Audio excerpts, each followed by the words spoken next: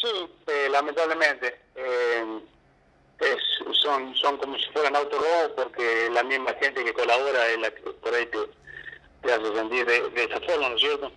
Eh, sí, en la madrugada del, el domingo, el lunes a la, mañana, a la una de la mañana, eh, fuimos alertados por, gracias a Dios, un vecino que escucha alguna anomalía dentro de- del cuartel y a esa hora. Entonces me llaman a mí, eh, salimos ya, bueno, nos, pusimos en contacto dos o tres y nos fuimos eh, hasta el cuartel de una, de una disparada, eh, ya también dando aviso a la, a la policía, ¿no es cierto? Para, para llegar, bueno, eh, al llegar el vehículo con, con ruido y, y eso, eh, fueron alertados estos malvivientes, no se puede decir otra cosa, eh, y salen corriendo por un baldío porque tenemos eh, estamos construyendo en la parte más ampliación eh, para atrás, el cual eh, se ve que ha quedado mm, mal cerrado un portón y entonces por ahí entraron. Gracias a Dios, bueno, eh, se llega a tiempo, eh, porque si no hubiera sido para, para uno desgraciarse, porque con estos mm, tipos lamentables, ¿viste? uno se pone, se, se saca. Entonces eh, dejaron tirado ahí en el patio un generador que tenemos para trabajar en rescate y dos motosierras, las cuales gracias a Dios, por, el rápido accionar de este vecino que nos, que nos llama, pudimos llegar a esto, ¿no es cierto? Eh, Claudio, ustedes por supuesto hicieron la denuncia en la policía. ¿Ya hay alguna persona que ha sido sospechosa, identificada por, por este intento de robo?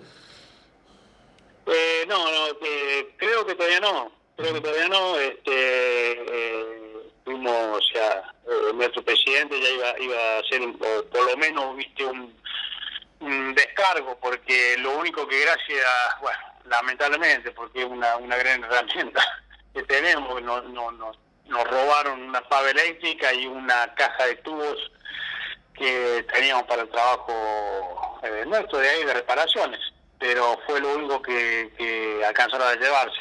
De- después el resto, bueno, logramos ahí que lo que, que no se lo llevaran por, por, por haber llegado ahí, gracias a Dios. Eh, Claudio, vos decías al principio de la nota que sería gente allegada a bomberos, que conocía o que por lo menos conocía el movimiento. ¿Tienen una idea de, de quién fueron los autores? Sí, no sé, o sea, es, es, es raro, raro porque viste, fueron a, a- a lugares a lugares concretos, no se revolvió nada. Fueron a un camión, abrieron y sacaron, y fueron a otro camión, abrieron y sacaron, viste, fue, es raro, es raro. Eh, y fue eso desde que este vecino eh, nos avisa y abrimos, son cinco minutos en- o, o diez a lo sumo, y fue- que fue que, que llegamos, eh, fue algo rapidísimo, gracias a Dios. Que si hubiéramos tardado cinco minutos más, a las cosas no las encontrábamos. Que Sí. sospecha uno siempre tiene, ¿viste? pero bueno, ya, ya está, nos conformamos con que nos llevaron eso nada más y que no, no pasó más nada, ¿viste? Nada más que eso. Ahora, Claudio, realmente hay que ser una muy mala persona, ¿no? Para eh, todos los robos son malos, pero digo, cuando afectás a una institución pública como es bomberos voluntarios, como puede ser una escuela y demás, realmente esto es, es doble el, el malestar que ocasiona, ¿no? Sí, te digo que la impotencia que tenemos anoche, viste, nos quedamos después un rato ahí y se, se nos caen atrás lágrimas, creo que nos va a doler más eh, que nos roben a una institución como la que tenemos nosotros acá, como la que pertenezco yo, por lo menos, y lo- los, los otros chicos que me acompañaron, de bombero, que prefiero que me roben algo en casa y no ahí, porque es una impotencia, te digo que hasta ahora me, me- se me hace un nudo en la garganta de la, de la rabia que te da, ¿viste? Pero bueno, qué sé yo, ¿viste?